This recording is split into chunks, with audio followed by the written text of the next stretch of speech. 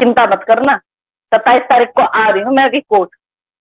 सारे सबूत लेके आप लोगों के खिलाफ। मोमिन सर ने अगर बोल दिया ना कि हाँ भाई तुम लोग आ सकते हो। मैं तो पहुँचने वाली हूँ। संजीव भाई, स्वागत है। मैं तो पहुँचने वाली हूँ। पूरे तीनों फ़ोन लेके आप करवाइए, कितनी कार्रवाई करवाएँगे, कितनी जाँच करवाएँगे किस किस की जाँच करवाएँगे? आपको पता है इंडिया के यूट्यूबर कितने हैं? इंडिया की माताएँ, बहनें कितनी हैं जो इस भाग ले रही हैं, जो इस केस में आगे आके बोल रही हैं, जो लप्पू को और सीमा हैदर को पसंद नहीं करते हैं, साथ में आपको भी पसंद नहीं करते हैं। आप हो कौन? आपको कौन जानता है? आपने तो निर्भया के केस में, हमने तो आपको तभी मार दिया था। निर्भया के केस में मार दिया था। आप ज़िंदा कहाँ से हुए? एक मौका मिला था आपको इस केस में अपने पॉइंट बढ़ाने का। आपने वो भी गवा दिए। धिक्कार है धिक्कार है आपके लिए। सच में अगर हम जैसा कोई व्यक्ति होता ना, मैं कब का काला मुँह करके और ज़मीन के अंदर छुप चुकी होती?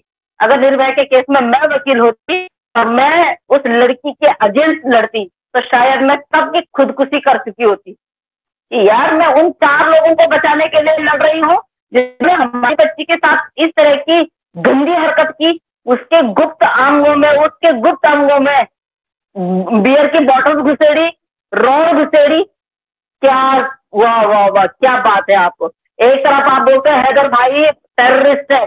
दूसरी तरफ़ आपने पाँच पाँच लोग उनके यहाँ रखे हुए हैं। सबसे बड़ा टेररिस्ट हिंदुस्तान में आप हो। शर्म आनी चाहिए सिंह जी आपको। आप किसी के बीवी बच्चों को ज़बरदस्ती पकड़ के, जबकि हमारे पास टिकट भी है इसकी, वापसी की। और आपने ज़बरदस्ती पकड़ के उनको यहाँ पे रखा है सिर्फ़ और सिर्फ़ अपने फ़ायदे के लिए। आप ये बताइए कि आपका फ़ायदा क्या है? आप जिस तरह से मोमिन साहब को आज जो आज जो आप स्टेटमेंट दे रहे हैं ना उस इस, पता क्या किया? अभी मेरे मोमिन सर से बात की। मोमिन सर ने पता क्या किया? ऐसे सर में खुजली की और ऐसे करके एक बाल तोड़ा। बोला, सरिता, मेरे लिए ऐसा है बेटा, आप चिंता मत करो। और आप लोग क्यों चिंता कर रहे हो? ये मेरे लिए नहीं पढ़ रहे हैं, बोला। इनकी ज़मीन खिसकी हुई है, इनकी हालत खराब हुई पड़ी है, इनके पास कोई जुगाड़ नहीं है, ये कुछ नहीं कर सकते हैं। तो कुछ ना कुछ इनको मीडिया में आने के लिए ना कोई ना कोई ऐसा वो प्लेटफॉर्म चाहिए कि जिस तरह, जिस वजह से ये उसमें आ सके। जय श्री राम। शिव शक्ति। तो ये मीडिया में बनना, अगर मीडिया में आपको बनना ही है ना तो कोई अच्छा काम करो भाई। ये उल्टा काम मत करो। लप्पो हिंदुस्तान का है, लप्पो के लिए चले कोई बात नहीं है। वो पाँच लोग तो पाकिस्तान के हैं ना, जो पाँच लोग आपने यहाँ रखे हुए हैं, चार बच्चे और एक उनकी माँ। तो वो लोग क्रिमिनल क्यों नहीं हुए भाई?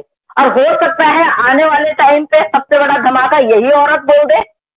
इस औरत ने बोला था, मैं पांचवी पास हूँ।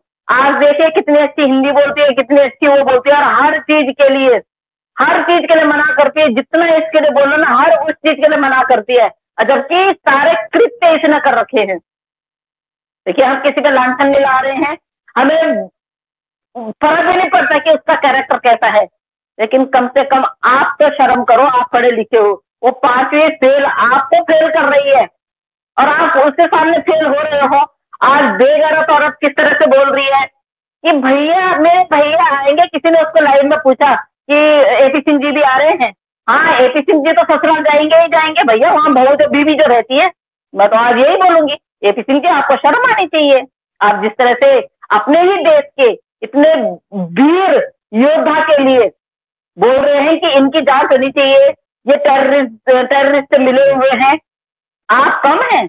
आप पहले आपकी जाँच होनी चाहिए। मैं तो कह रही सबसे पहले मैं अपनी अदालतों से भी, अपने सरकार से भी और अपने सारे लोगों से बोलूँगी कि सबसे पहले एपी सिंह जी की जाँच हो। किसी ने हम लोगों पे जाँच, हम तो उंगली उठाई तो फिर उंगली तोड़ दी जाएगी। पहले बता रही हूँ, उंगली तोड़ दी जाएगी। घी खाने का शौक आपको है, चिकन खाने का शौक आपको है गठीले बदन देखने का शौक आपको है अपनी बहन को निहारने का शौक आपको है, इतने सारे इल्ज़ाम हम लगाते हैं आप पे, जो आप बोले हुए हो। तो आपको पहले ही वार्निंग कर रहे हैं, सारे के सारे यूट्यूबर जितने लोग आवाज़ उठा रहे हैं, हमारे खिलाफ आप जाइएगा नहीं, और मोमिन करके खिलाफ आप कार्रवाई करिएगा मत, क्योंकि आपको पता है, आपका कोई दाव पेश चलने वाला नहीं है। शर्म आनी चाहिए यार आपको, आप अपनी ही कम्युनिटी के ऐसे व्यक्ति को इस चीज़ में घसीट रहे हो, जो आपसे कितने गुना ऊपर है? आपको पता है वो आपसे कितने गुना ऊपर है? आप तो कुछ भी नहीं हो। आपको तो हम मानते भी नहीं हो कुछ भी। क्यों नहीं मानते? क्योंकि आपने वो काम किया ही नहीं है। आपने सीमा हैदर को यहाँ रोका क्यों? कौन से कागज़ है आपके पास उन बच्चों के? उन बच्चों का आपने एक साल उन बच्चों का एक जो पूरा एक साल खराब किया है, कौन देगा उनके? बारह महीने, तीन सौ पैंसठ दिन कौन लौट आएगा उनके? उनका बाप जो उनके लिए रो रहा है, उनके बाप की जो आँसू निकल रहे उनके बाप की, उनको कौन लौटाएगा? आप। आप कुछ भी नहीं कर सकते हैं। आप शासन प्रशासन से ऊपर नहीं है। और आपके जैसा व्यक्ति बोल रहा है कि वोटिंग के टाइम पे मोमिन मलिक ने ये कर दिया, वो कर दिया। अरे, चुनाव आयोग कौन गया था? एप्लीकेशन लेके चुनाव आयोग कौन गया था? आप ही गए थे ना? बाई दी वे क्योंकि वहाँ पंद्रह बीस कैमरे वाले थे और आपको कैमरे में आने का बहुत ज़्यादा शौक है। तो चुनाव आयोग कौन गया था? आप गए थे ना? लप्पू ने चुनाव देते हुए वीडियो बनाई, वो आपको दिखी नहीं, वो आपने देखी नहीं। उस काले कुत्ते ने जो बनाई थी वीडियो, वो आपको दिखी नहीं। आप उसको करो के मैं तो बोलूँगी, वो है, काला कुत्ता है वो। हर चीज़ वो ब्रेक करे, आपको वो सब कुछ पसंद है। लेकिन और कोई बंदा, हिंदुस्तान को कोई और कोई रूल ब्रेक करे, हम जबकि रूल कोई ब्रेक कर भी नहीं रहे हैं। आप तो पाकिस्तान के लोगों को भी नहीं छोड़ रहे हैं। आप तो पाकिस्तान के लोगों को भी बोल रहे हैं कि उन पर भी कार्रवाई करो। मतलब एक पाकिस्तानी औरत, आपने उनके पाकिस्तान की औरत आपने ज़बरदस्ती यहाँ पे रखी हुई है और आप उन पे भी जाँच करवाएँगे। जो उन चार बच्चों को एक पिता से मिलाने के लिए इतनी सारी बहनें, इतने सारे भाई जो आवाज़ उठा रहे हैं, आप उनको फांसी की सजा दोगे आपके बाप की है क्या अदालत जो आप अपनी मर्ज़ी से करोगे, आपकी बाप की अदालत है क्या? आप हमें ये बोलने पे मजबूर कर रहे हैं। हम बोलना नहीं चाहते हैं। लेकिन आप बोलने पे मजबूर कर आपके बाप की अदालत है क्या? जो आप बोलोगे और वही होगा। अदालत जितना शासन प्रशासन अदालतें जितना आपकी है ना, उतना ही हमारा अधिकार भी है। हम भारतीय है। और इस बेगनत औरत आप बोल रहे हैं ना कि वो उसकी पत्नी तो आप पहले हैदर भाई से इसका जो डाइवोर्स का कागज़ है, वही दिखा दें। अपनी कम्युनिटी पे लगा दें आप। आप अपनी कम्युनिटी पे मत लगाइए, क्योंकि आप अपनी कम्युनिटी पे अपने उस पर तो कुछ करते ही नहीं हो। आप उसके कंधे पे बंदूक रख के रख, कर रहे हो ना। एक, हैदर भाई से इसका तलाक का कागज़ आप उसकी कम्युनिटी पे लगा दीजिए। दूसरा, कि ये लीगल आए हैं, वो उस पर लगा दीजिएगा। तीसरा, कि ये इसके साथ शादीशुदा शादीशुदा लाइफ में है और लीगली है। ये तीन आप कम्युनिटी पे लगा दीजिए। आपको वार्निंग दे रही हूँ। वार्निंग समझो चैलेंज समझो।